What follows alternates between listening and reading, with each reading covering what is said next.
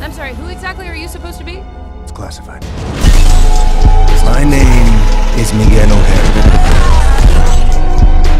I'm from another dimension. I saved those people. And that's the problem. Que maravilla. I'm not coming. You're right. You're a mistake! All he had to do was listen! If you hadn't been bit, your Peter Parker would have lived!